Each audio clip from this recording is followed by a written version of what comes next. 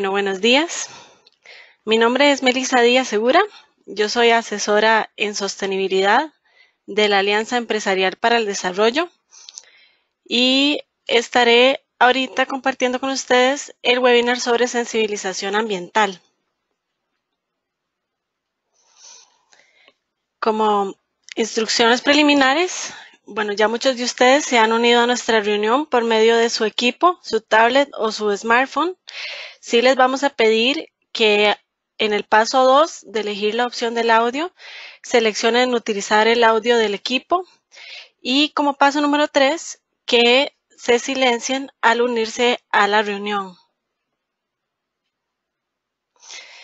Eh, tenemos a su disposición el chat para que puedan escribir sus comentarios o sus consultas y también nos comuniquen si nos escuchan bien. Bueno, a manera de introducción, eh, para explicarles un poco lo que hacemos aquí, acá en la Alianza Empresarial para el Desarrollo, eh, nosotros somos una organización sin fines de lucro cuyo propósito es contribuir a una sociedad próspera, inclusiva, digna y en armonía con el ambiente a través de un sector empresarial consciente, articulado y comprometido. Entonces brindamos servicios en las tres áreas de sostenibilidad y actualmente somos más de 100 organizaciones eh, que estamos trabajando en conjunto. ¿Y de qué forma trabajamos? Eh, nosotros brindamos servicios para la gestión integral de sostenibilidad, como, lo dije, en las tres áreas, en la dimensión social, la dimensión económica y la dimensión ambiental.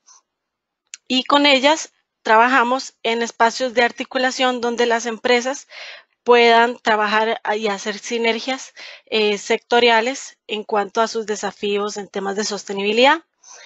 Y bueno, también generamos incidencia en la política pública eh, a nivel, eh, a nivel costarricense. Y esto lo logramos logrando un compromiso de la dirección en un tema de mejora continua.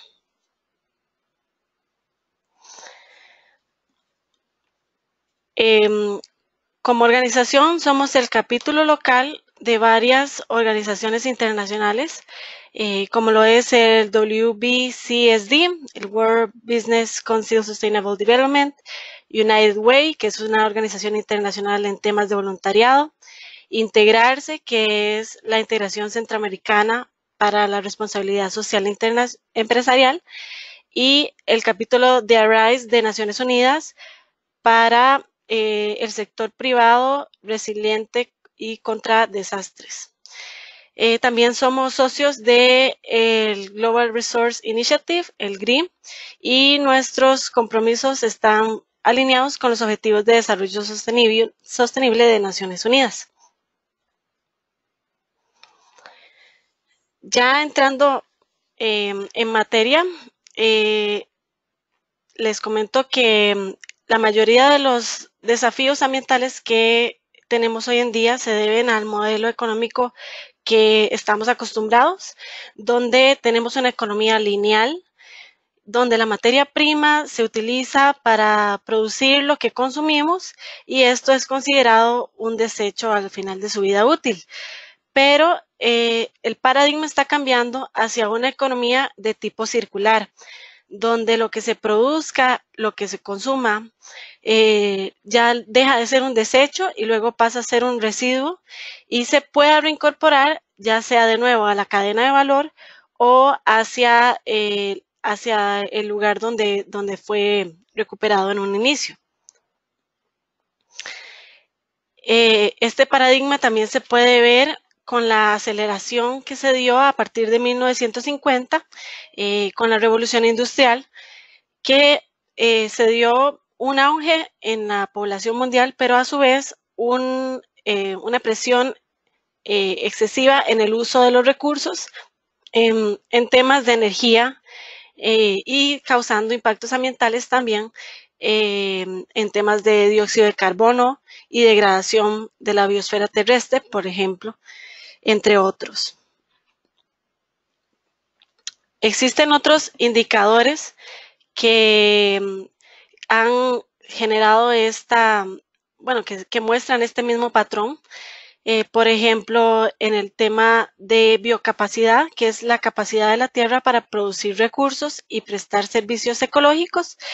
Esta biocapacidad em, ha sido sobrepasada, según esta gráfica, por ahí de 1970, por la huella ecológica de la humanidad, que eh, bueno, principalmente es huella de carbono, pero existen otras huellas por eh, prácticas insostenibles a nivel de campos de cultivo, productos forestales, zonas de pesca, entre otros. En este gráfico también podemos ver eh, una, lo que ha sido la relación entre el índice de desarrollo humano, que es básicamente la calidad de vida, versus la huella ecológica de la humanidad. Eh, cada circulito muestra lo que ha sido eh, por zona geográfica eh, y podemos ver que hay una cierta desigualdad. Entonces, hay países que el índice de desarrollo humano es muy alto y su huella ecológica es bastante alta. Lo podemos ver en zonas como Norteamérica eh, y algunas zonas de Asia Pacífico como Dubái, mientras que hay otras que el índice de desarrollo humano es bastante bajo y su huella ecológica también es bastante baja, por ejemplo, en África y algunos otros países de Asia Pacífico. Eh, los que más se acercan al umbral de sostenibilidad que queremos eh, o que añoramos serían países latinoamericanos y algunos países europeos. Sin embargo, eh, como podemos ver, eh, realmente el umbral de la sostenibilidad no se ha alcanzado por ninguna de las zonas geográficas mundiales. En, bueno, en este, en este mapa mundi podemos observar que también hay una cierta eh, desigualdad en lo que ha sido la huella ecológica por persona por país, donde los países industrializados tienen una mayor huella ecológica que los países en vías de desarrollo. Entonces, bueno, esto se observa en los países industrializados en un color mucho más oscuro que los países eh, en vías de desarrollo en este gráfico. Otro indicador eh, otra forma de ver lo que sería la huella ecológica y su proyección para el 2030 es mediante esta gráfica que muestra lo que han sido los patrones actuales y las proyecciones em, a futuro con en términos de producción y consumo sostenible. Y podemos ver que eh, si seguimos en la misma tendencia actual, para el 2030 estaríamos consumiendo el equivalente a lo que dos tierras podrían ofrecernos en cuanto a recursos naturales, dos planetas tierras. Mientras que si reducimos en un 30% las emisiones de carbono, eh, pues se reduce apenas en una tierra y la mitad, una tierra y media, los recursos que estaríamos eh, requiriendo del planeta para nuestras prácticas insostenibles. Entonces, bueno, esto enciende todas las alarmas respecto a que eh, hay una urgencia de cambiar nuestros patrones de consumo y producción. ¿Y qué podemos hacer? Realmente está en nosotros tomar mejores decisiones a nivel de, políticas, a nivel de compras, eh, se recomienda que se debe reorientar los flujos financieros, que se dé un mayor valor a la naturaleza, que se responsabilice los costos medioambientales y sociales y que se dé apoyo y recompensa a la conservación y manejo de los recursos. También se debe dar una gestión equitativa de los recursos, eh, donde se compartan los recursos disponibles, donde se tomen decisiones justas e informadas, donde se mida el éxito no solo como se ha hecho eh, históricamente basado en, pues, en un tema monetario, sino también se toma en cuenta el capital natural.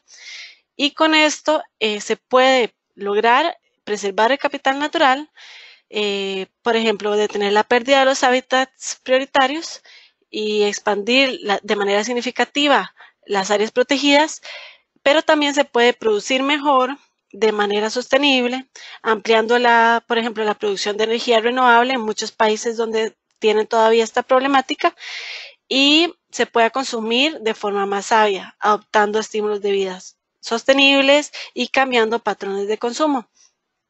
Todo esto va a generar una mayor integridad de los ecosistemas, mayor conservación de la biodiversidad y la seguridad alimentaria, hídrica y energética eh, se verían aseguradas. Esto eh, han habido eh, han habido iniciativas que han probado que un desarrollo con bajas emisiones es posible. Por ejemplo, en Inglaterra y en Alemania em, se, han dado iniciativas creando impuestos, por ejemplo, al, al consumo de combustibles fósiles que han evidenciado una tendencia a la baja a las emisiones con el tiempo. Entonces, realmente un desarrollo sostenible sí es alcanzable eh, bajo en emisiones.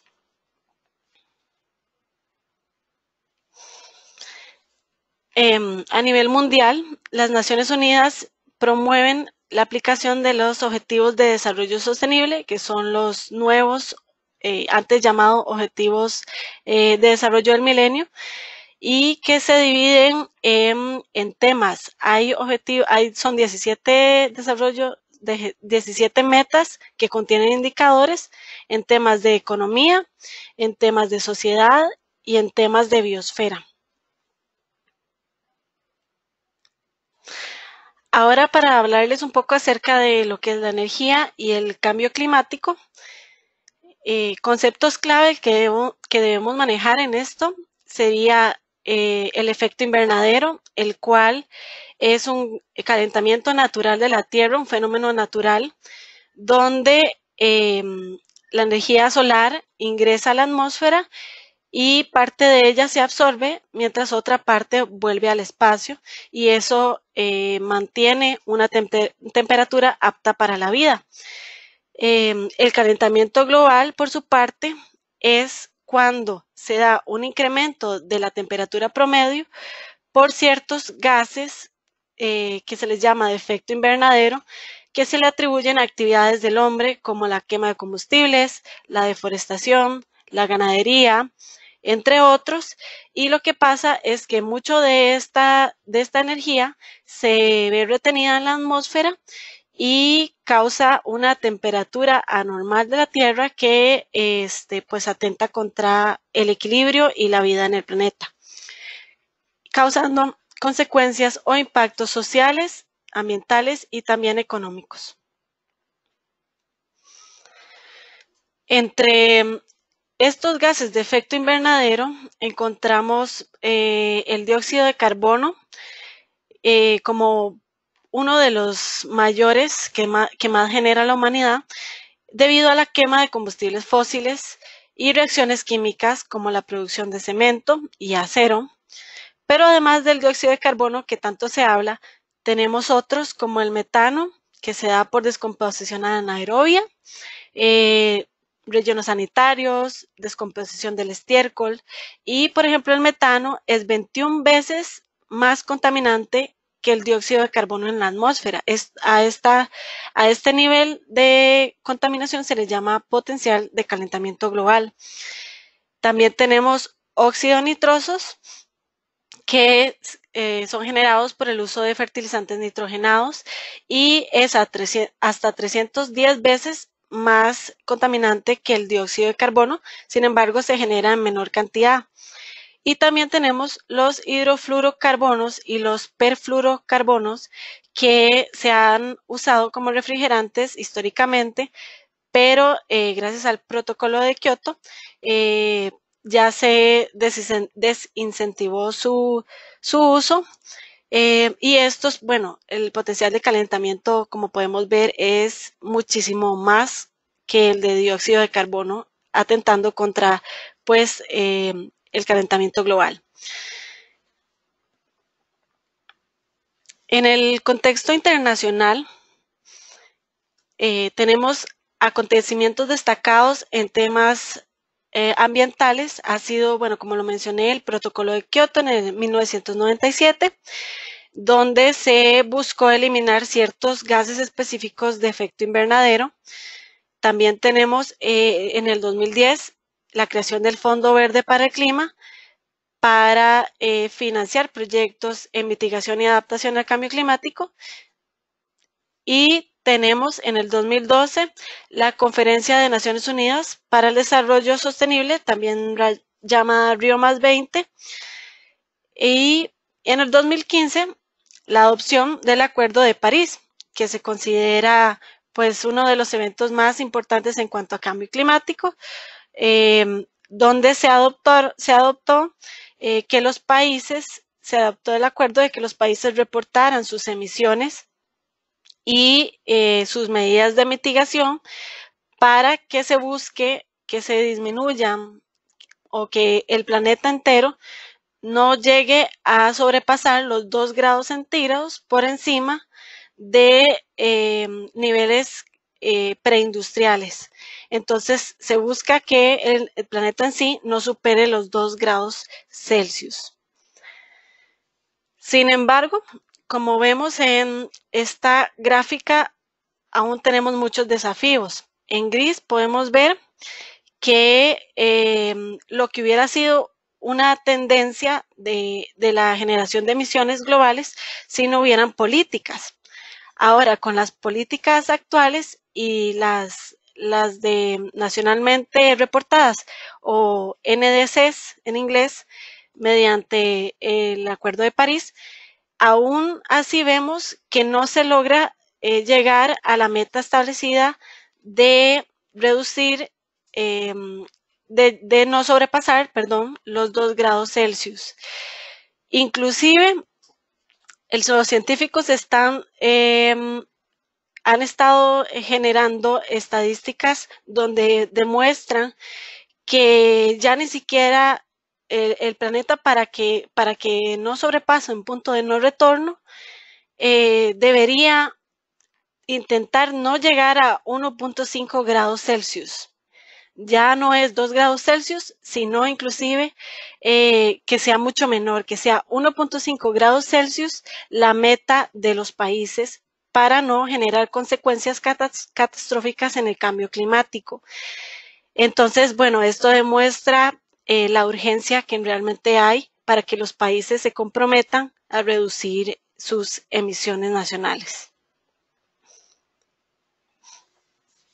Esta diferencia entre lo que es un, 1.5 grados Celsius y 2 grados Celsius lo podemos ver en, esta, en estas infografías del World Resource Institute, donde, por ejemplo, para la población global, eh, se estima que una vez cada cinco años va a haber 14% de probabilidad de que se dé extremo calor a 1.5 grados Celsius, mientras que a 2 grados Celsius ya se llegaría a un 37% de posibilidad. También lo podemos ver en la pérdida de especies.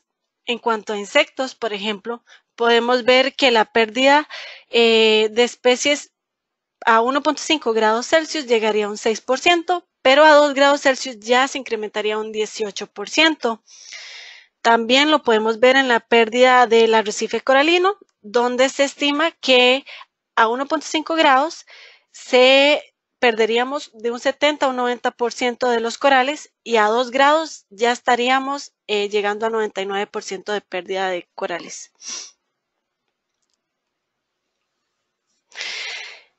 En cuanto a iniciativas regionales, eh, se encuentra Let's LAC, que es una plataforma o una red de organizaciones que trabajan en la promoción e implementación de desarrollos resilientes y bajos en emisiones. Esto para Latinoamérica y el Caribe.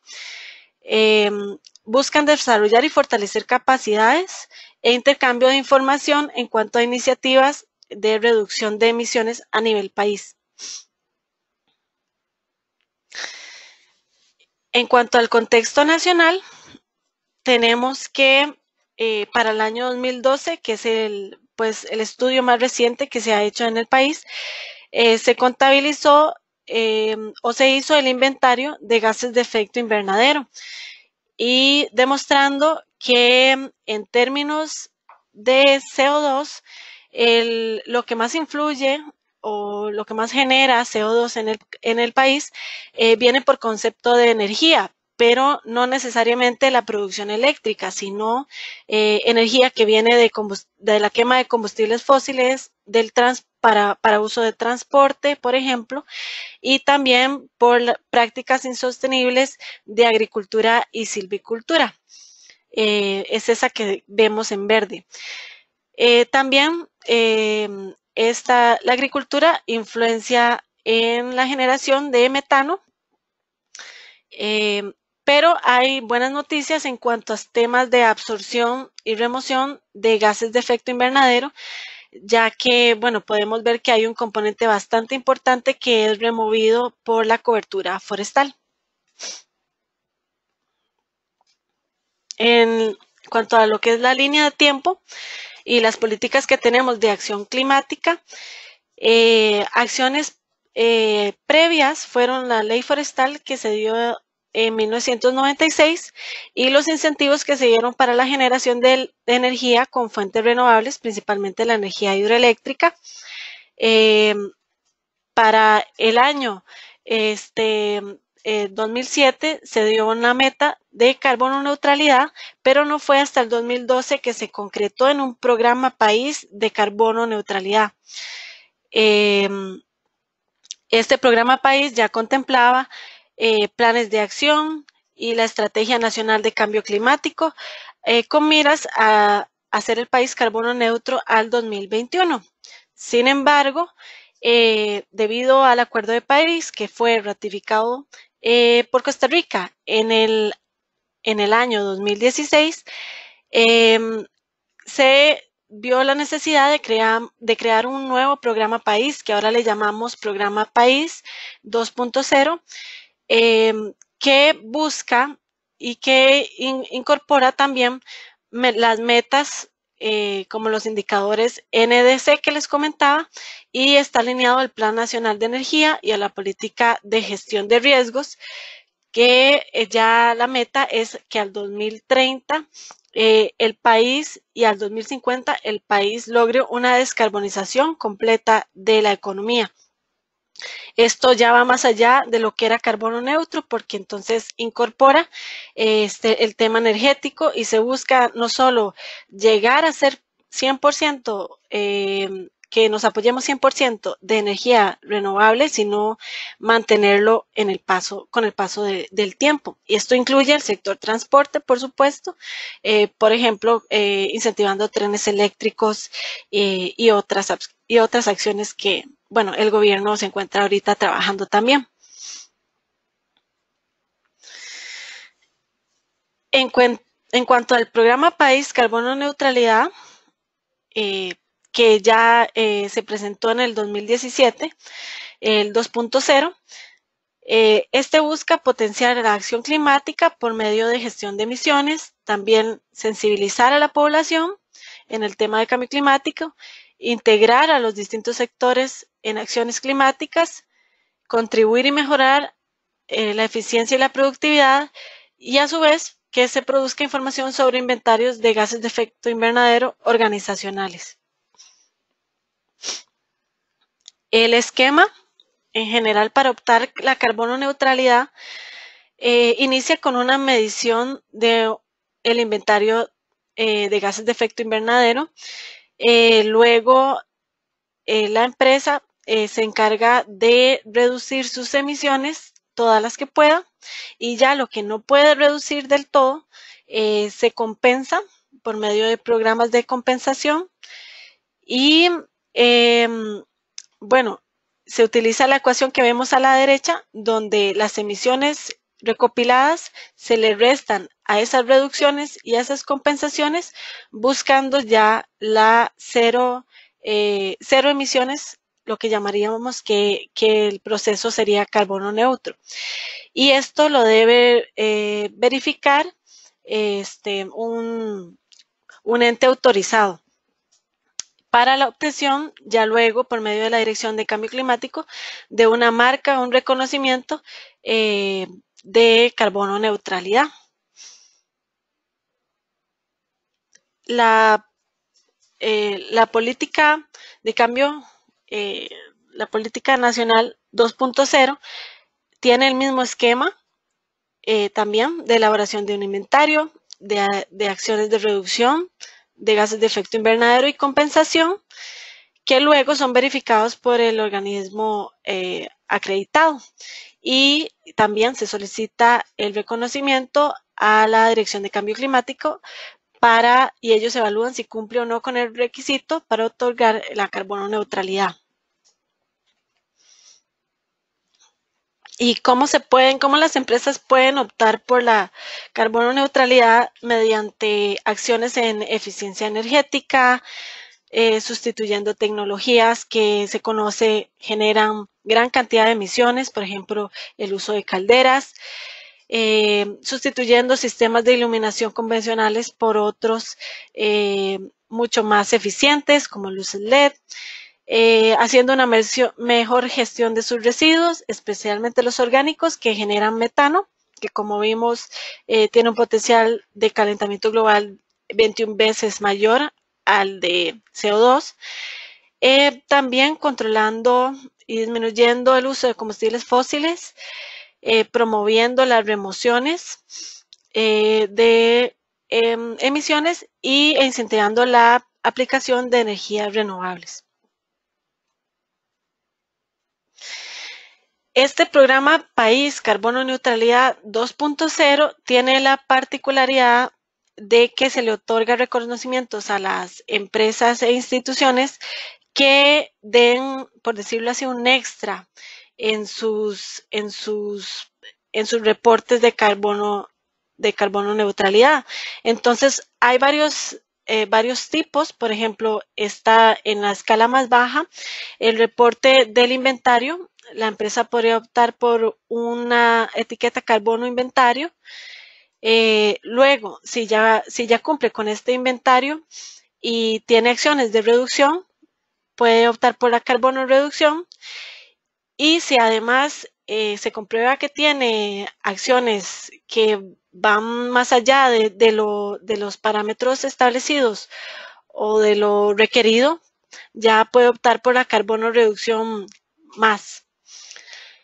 Además, este, un paso más sería ya optar por la carbono neutralidad, donde eh, incluya compensaciones y llegue a demostrar ser carbono neutro, y carbono neutral más, donde eh, promueva políticas o tenga iniciativas para la disminución de gases de efecto invernadero en la atmósfera.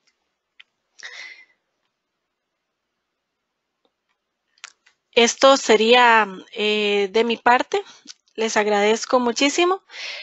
Y bueno, aquí estamos para responder sus consultas, que las hagan por medio del chat.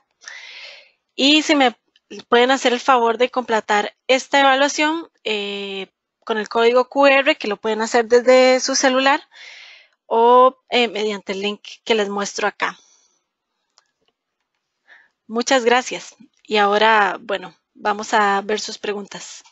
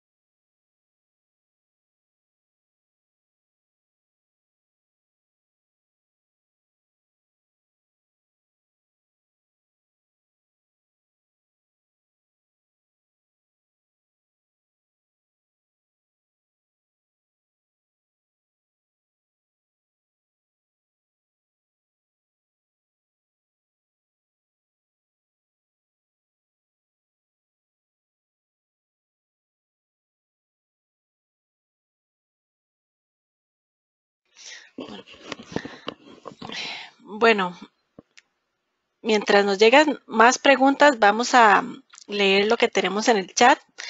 Marcela Cordero nos pregunta que cuál es el estudio que se hizo en el 2012 en Costa Rica. En el 2012, el Inventario Nacional de Gases de Efecto Invernadero eh, se presentó y este se realiza periódicamente para, para saber cuánto está emitiendo Costa Rica como país. Em, realmente eh, la, nueva actualización está en desarrollo. Este es el inventario más nuevo que, con el que contamos en este momento y eh, efectivamente lo realiza el Instituto Meteorológico Nacional. Eh, vamos a ver.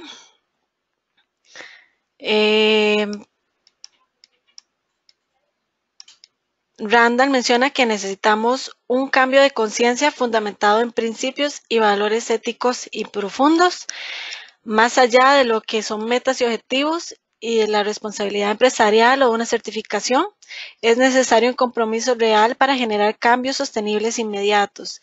También es urgente cambiar modelos de consumo muy importante y producción, creando un valor compartido que tenga impacto positivo para el ambiente, la sociedad y la economía. Eh, no podemos permitirnos más el greenwashing, que pues el greenwashing es eh, una técnica que se está buscando eh, desincentivar en el cual una empresa declara que tal vez es verde y no tiene fundamentos técnicos que lo apoyen detrás. Entonces, este, esta, esta es una tendencia que, mm, que se está, que se está monitoreando a nivel eh, internacional y nacional para evitar caer en esto. Y también menciona que en términos de corrupción en todos los niveles eh, también debe estar debe estarse monitoreando. Muchas gracias. Mm, vamos a ver.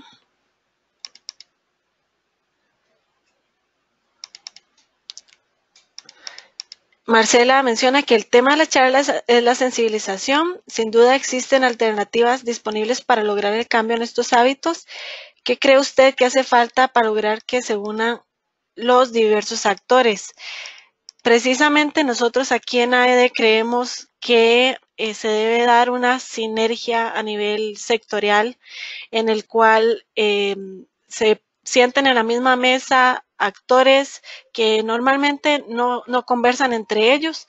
Podemos ver que muchas veces hay muy buenas iniciativas, pero son aisladas y creemos que ya llegó el momento en el que el país entero se encamine hacia un mismo objetivo eh, en común y creo que se lo, creemos que se logra más de esta forma que, que mediante acciones aisladas. También la educación ambiental va a ser un, sigue siendo y, continuará siendo un pilar para lograr estos objetivos, porque mientras más gente se concientice, entonces más acciones y más apoyo se, va a dar en temas eh, ambientales. Eh, Saida Solano nos pregunta si vamos a compartir la presentación. Eh, sí, va a estar disponible en, en nuestra página de NAED en la sección de recursos y ahí la estaremos subiendo y la grabación. Y Jorleni menciona que educar dentro del hogar en nosotros está el cambio como gestores ambientales, por supuesto. Eh, ya le compartimos a Jorleni el link para la evaluación. Y María les menciona que pregunta que cada cuánto son los periodos de verificación para la carbono neutralidad. Em, por ejemplo, marca países para el periodo de cinco años. Para los periodos de verificación es un año. Sí, las, correcto, las evaluaciones las, debe hacer un ente autorizado. Em, y bueno, si alguno tiene alguna otra pregunta con, gusto. Si no, daríamos acá por finalizado el webinar.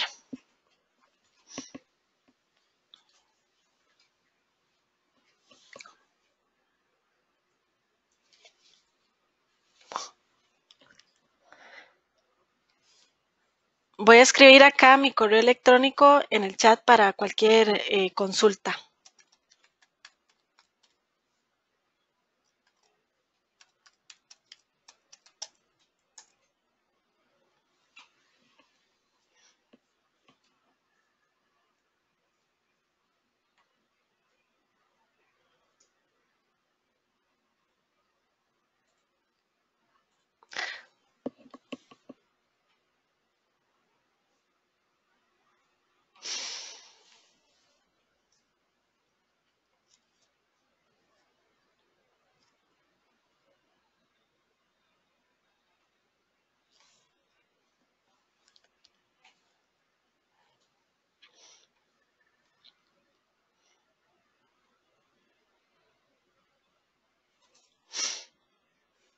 Bueno, si no hay más consultas, les agradezco muchísimo su atención y los esperamos para próximos webinars que vamos a tener en, en los próximos meses.